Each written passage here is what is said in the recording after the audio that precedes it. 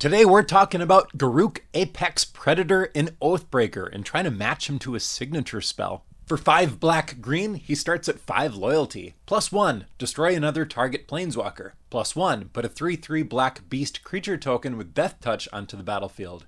Minus 3, destroy target creature, you gain life equal to its toughness.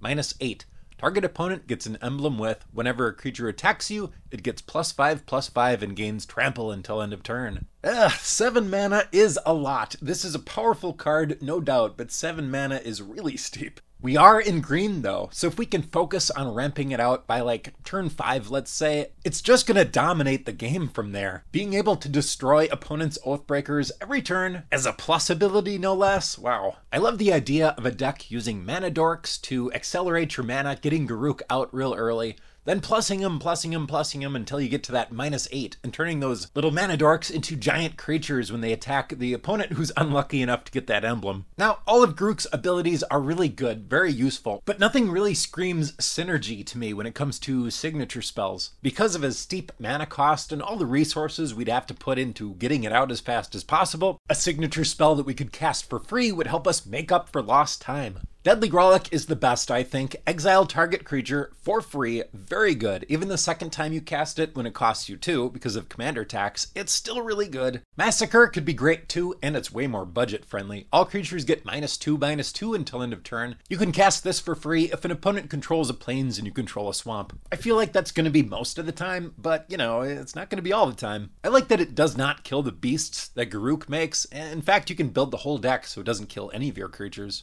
Obscuring Haze Is a fog that you can cast for free, because it would really stink to finally get your Garruk out and then lose him to combat the next turn. Noxious Revival to get back a key card, or Dark Triumph to pump your whole team are also worth a mention. Moving away from free spells, Golgari Charm is always good. For black green, it's an instant choose one. All creatures get minus one minus one till end of turn, destroy target enchantment, regenerate each creature you control. That even seems kind of flavorful considering Garruk is a planeswalker with lots of different generically good options. And while we're talking about flavor picks, in Garruk's Wake for 9 mana, destroys all creatures you don't control and all planeswalkers you don't control. Because if you can get to 7 mana, why not 9, right? Or the other option with Garruk in the art, Return of the Wild Speaker for 5 mana. Choose one. Draw cards equal to the greatest power among non human creatures you control. Or non human creatures you control get plus 3 plus 3 until end of turn. Beast Tribal could be another direction you could take the deck because Garruk makes beasts. Curious Herd and Fresh Meat both make 3 3 beast tokens. Neither are super reliable at doing that though. I do love Ezuri's Predation for 8 mana. For each creature your opponents control, create a 4 4 green Phyrexian Beast creature token.